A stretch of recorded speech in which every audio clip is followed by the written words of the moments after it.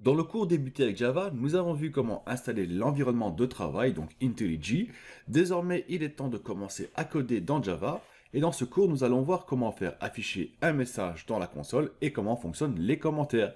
Je suis Daniel Touderin, allez, c'est parti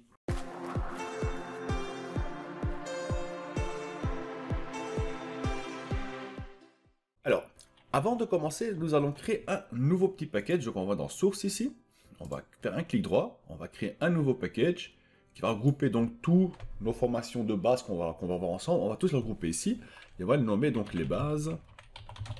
Voilà, je fais entrer. on l'ouvre, il se trouve ici, le petit package. Je fais un clic droit, on va ajouter donc une nouvelle classe qu'on va donc nommer euh, mon premier code Java. On fait entrer, bien voir que c'est sélectionner une classe et rien d'autre, parce qu'on va utiliser une classe.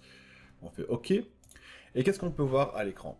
On a ouvert donc ici un fichier Java, c'est le fichier où on va donc coder notre code dedans. On voit qu'il est déjà affiché dans quel package on est en train de travailler au-dessus, et on voit dans quelle classe on est occupé en train de travailler dedans.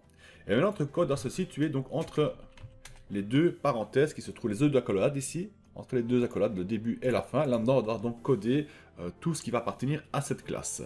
Donc maintenant, si je veux faire afficher quelque chose à l'écran, je fais un système out.print euh, ln. Je dis hello tuto de rien. Je termine tout le temps avec un point virgule. Et donc là, si on veut lancer notre code, on doit aller dans run. Et on va faire un run. On fait run. Mais le problème, c'est que cela ne va pas fonctionner. Comme on peut voir ici, on a donc quelque chose qui nous demande d'éditer notre run. Le problème, c'est que il faudrait spécifier donc euh, à euh, à, notre projet Java de dire quel est notre premier fichier qui va lancer tout notre code en fait. Et donc ici on ne l'a pas, on n'a pas créé de fichier qui contient donc euh, contient le code pour tout lancer. Donc comment se faire ça? On doit venir ici, d'ailleurs on le voit, hein, ici il est en rouge, et on voit dans notre explorateur de, de, fichiers, notre explorateur de code, on voit ici aussi, il est surligné en rouge aussi il est pas. Ça veut dire qu'il y a une erreur, quelque chose qui ne va pas. Pour corriger cette erreur là, tout ce qu'on va devoir ajouter c'est un public statique. Void main. Qu'on va donc nommer string. Allez qui sera une, un string en fait. argJS et là on ouvre une nouvelle accolade on ouvre une accolade. On peut effacer et on va fermer l'accolade ici. Et désormais, si je veux lancer, automatiquement, on a déjà des petites flèches de play. Donc là, on va pouvoir lancer. Donc je vais dans Run. Je fais Run cette fois-ci. Et là, il va demander de nouveau. On sélectionne le 2. Et là, il va le lancer. On attend un peu. Hop. Et on voit donc la console qui s'affiche en bas. Il va indiquer donc Hello tuto de rien. Donc on est obligé dans n'importe quel projet qu'on va créer, on a besoin minimum une un fichier donc Java, donc un Java qui comporte un main. Le main, ça veut simplement dire début. C'est-à-dire c'est là que tout va commencer et tout va débuter à partir de là. Les autres pages n'ont pas besoin d'avoir un main. C'est pas obligé car on va pouvoir rechercher quelque chose sur notre page sans aucun problème. Mais il faut avoir notre projet minimum un seul main. Maintenant, si j'enlève le main à nouveau, hop là, je vais l'enlever le main. Je vais lancer le code. Cette fois-ci, on peut lancer le code. Hop, il va m'afficher plein d'erreurs. On peut le voir ici en dessous. Il m'affiche qu'il y a plusieurs erreurs qui ne vont pas. Alors, une des particularités donc des IDE qu'on avait vu la dernière fois, c'était que si on fait une erreur, ben, il affiche en rouge. Donc on voit le rouge ici, le rouge là, et surtout le rouge ici. On voit que ceci, il y a un problème, ça ne fonctionnera pas. Tout simplement parce qu'il manque donc le main. Aussi, une autre force des IDE, ça veut dire que ils vont pouvoir nous aider à écrire du code plus facilement, comme on l'avait déjà vu. Donc, si je veux incorporer un main dedans très facilement, tout ce que j'ai à faire, c'est indiquer les mots. Bon, public, statique. Donc, chaque fois les premiers mots, les premières lettres des mots, donc PSVM, faire entrer. Et on a automatiquement donc le static void main qui s'affiche. Et là, je vais l'enlever car je vais le placer à un pub là. Je vais le mettre ici. je ferme. Voilà. Et désormais, il n'y a plus d'erreur, car ce qu'on peut voir, il n'y a aucune ligne qui est en rouge, aucun texte qui est en rouge non plus. Là, là, si je vais le lancer, donc je peux venir ici et lancer, donc run, on lance, voilà, et il affiche de nouveau hello tuto derrière. Si je fais un changement, donc je marque dedans, donc je change mon code, je vais le lancer, on voit, en bas il s'affiche je change mon code.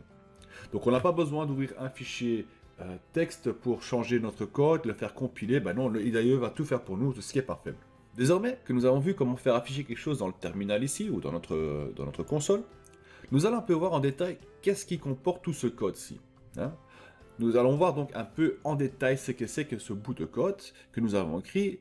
Et eh bien pour faire simple, nous avons utilisé une méthode d'une autre classe, car le système out c'est une classe aussi, c'est une classe, c'est une classe qu'on va donc utiliser, qui a donc une méthode qui s'appelle out et qui une autre méthode qui s'appelle printnl, qui va nous permettre donc d'afficher quelque chose à la, ligne, donc quelque chose dans la, console d'une ligne complète, donc print line. Si je fais un print tout court, on va voir ce qui va se passer, donc je fais play, je lance, on voit pas vraiment une grande différence, c'est la même chose. Par contre, si je vais écrire le même code en dessous, hein, voilà, je fais bonjour, et là je fais lancer mon code,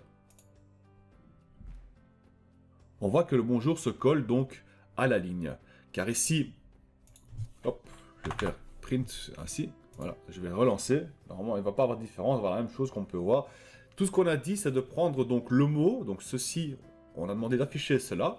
Tout ce qui s'affiche ici, je change mon code. Puis, on a demandé d'afficher aussi bonjour, mais sur la même ligne. Par contre, si j'aurais placé ici print ln pour line en fait, hein, print line. Ici de même, donc je fais print ln. LN, voilà pour line aussi. On aura donc tout sur deux lignes différentes. Donc là, si je lance mon code, on a, je change mon code et bonjour. Et on a aussi une nouvelle ligne qui s'affiche. Donc ici, on ne le voit pas parce qu'elle est vide, il n'y a rien dedans. Bien une nouvelle ligne qui s'est mise. Si ceci, je fais simplement en print normal et que je le lance le code, on va voir ce qui se passe. On voit qu'il n'a pas mis une nouvelle ligne. Il s'est arrêté à bonjour, il n'a pas placé une nouvelle ligne. Donc, chose importante à savoir, c'est que print LN, ça veut dire une ligne complète, et puis on passe à la prochaine ligne si on met un autre code, et le print normal ben, va s'avancer sur une seule ligne et pas passer sur une nouvelle ligne. C'est ce qui est très important à savoir. Autre chose à savoir aussi, c'est le petit raccourci pour écrire donc le système out print NL. Comme vous avez pu le voir, j'ai l'utilisé. Donc tout ce qu'on a suffit de faire, c'est marquer S out. Donc S out et la touche entrée et on a une ligne de code complète qui s'affiche. Tout ce qu'on suffit de faire maintenant, c'est de mettre entre guillemets et placer notre code. Donc notre code ici. Et voilà, donc nous avons notre code qui s'affiche ici dedans. Donc là, je vais faire play. On va voir bonjour et notre code à côté parce que c'est un print ici. Si je fais un print ln, voilà. Je fais sur play. Et là, donc, on a donc tout sur une ligne séparée. Et donc, une des avantages qu'on a donc avec euh, les IDE, ça veut dire que si on commence à écrire du code, donc je fais par exemple système, j'ai fait point, et là on a donc toutes les méthodes de la classe système qui s'affichent ici dedans, donc on peut voir tout ce qu'on peut faire avec système. Donc si je fais le out, c'est pour faire sortir des choses en fait. Je fais nouveau point, on fait donc toutes les méthodes qui sont accompagnées au out ici. Donc on a le print, print nl, on a le print, euh, on a check error, on a close, flush, what, on a plusieurs possibilités.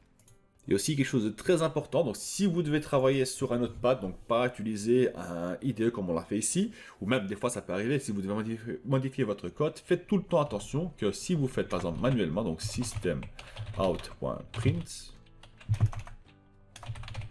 je vais marquer un mot, je vais marquer simplement euh, test, voilà, et que je vais lancer mon code, j'ai un message d'erreur qui apparaît, pourquoi?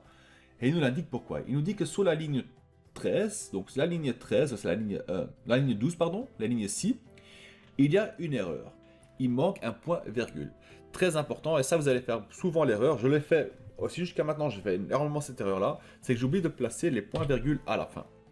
Donc il faut savoir qu'à chaque fois qu'on veut écrire un code en Java, on termine toujours par un point virgule. On va dire 90% des cas, on termine par un point virgule. Il y a certains code où ce qu'on termine pas avec un point virgule, comme ici, quand on commence à écrire public static void main, ben, il n'y a pas de point virgule à la fin, on ouvre une accolade à la place. Mais en général, on termine tout le temps avec un point virgule. Donc si votre code ne fonctionne pas, vérifiez pourquoi. Donc la console, elle vous aide en bas, elle vous dit pourquoi. Donc elle marque erreur, hein, Java expected, et terminer avec un point virgule. Désormais, hein, donc on a notre code qui s'affiche ici. Donc là, si je relance,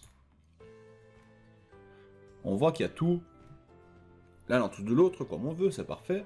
Mais disons que ici on voit on n'a rien marqué dedans, donc y a une ligne vide qu'on a laissée, et eh bien on voit que ça apparaît pas en dessous. C'est tout à fait normal, on n'a pas dit au code de laisser une ligne vide. Si on veut faire cela, donc si on veut écrire comme on l'a fait ici, avec une ligne vide, on vient donc ici, je vais mettre là, tout ce que je dois faire c'est un sysout, et c'est tout.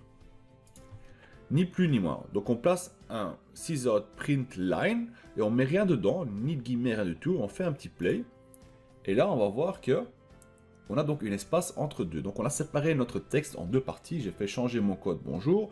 Il y a une ligne vide. Cette fois-ci, notre code est ici test. On peut bien sûr aussi décorer le tout. Donc je viens ici. Je mets les guillemets. Je tire une ligne. Voilà, comme ceci. Je fais play.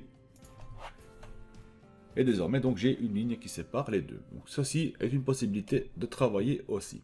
Alors, Placer un commentaire dans notre code nous permet, comme son nom l'indique, commenter notre code. Alors le but n'est pas de commenter chaque ligne de notre code, car nous allons devoir programmer notre code de façon qu'il soit lisible, c'est-à-dire que si on lit notre code, on comprend ce qu'il se passe. Donc on va éviter de travailler avec des x, des y et des z, mais on va rendre nos variables plus tard lisibles afin qu'on puisse voir ce qui se passe au moment qu'on lit notre code. Pour placer un commentaire, c'est plutôt simple. Donc on vient ici en haut, je vais en placer un ici. Donc il faut mettre deux barrettes, donc deux lignes de travers, deux backslash, je pense que ça s'appelle. Et ici, on peut donc dire ici, on va dire hello tuto de rien. Donc ici, je peux changer, marquer hello tuto de rien. Voilà, voilà. Et là, on a placé donc un commentaire. Ceci, c'est un commentaire au-dessus. Donc, si je vais lancer mon code, on va voir tout ce qui se passe ici. Mais le commentaire ne s'affichera pas dans notre code. Donc, je vais lancer le tout. Et on voit qu'il n'y a rien à changer en fait. Hein. Toujours le même. Donc, hello tuto de rien, bonjour. Mais on ne voit pas le commentaire. Donc, pour placer un commentaire, on place donc les deux backslash. Et on, on écrit donc notre commentaire. Une autre méthode utiliser un commentaire sert aussi donc à isoler un bout de code. On va dire que le code ici, donc euh, le code qui se trouve là, a un problème. On ne trouve pas, on ne sait pas quel est le problème. On veut lancer, mais ça ne marche pas. Donc quand je vais lancer, hop, il nous donne une erreur. donc ligne 11, on voit ligne 11, il y a un problème, mais je ne sais pas le résoudre. Ça bloque tout mon programme. Donc qu'est-ce qu'on peut faire? On va pouvoir isoler le code. Je reviens ici. Je vais isoler le code en mettant le code en commentaire. Je vais lancer le play. Et voilà, on a donc le code, donc notre programme qui va se lancer. Et le code ici qui cause problème, ben, on l'a isolé et on va devoir voir par la suite quel est le problème et comment le régler. On peut aussi le commenter, on peut dire, euh, voilà, ici, il y a un problème. Voilà. Ainsi, on sait que là, il y a un problème, il faudra travailler dessus. Donc là, on a commenté notre code disant qu'ici, il y a un problème, donc il faudra faire quelque chose. Il est aussi possible de placer un commentaire à plusieurs lignes dans Java. Donc euh, ici, on a plus un commentaire sur une seule ligne. Donc ça veut dire que si je fais entrer et que je continue à écrire, ben là, on n'est plus dans les commentaires. Donc là, il faudra à chaque fois venir faire un backslash et dire voilà, une autre ligne de commentaires.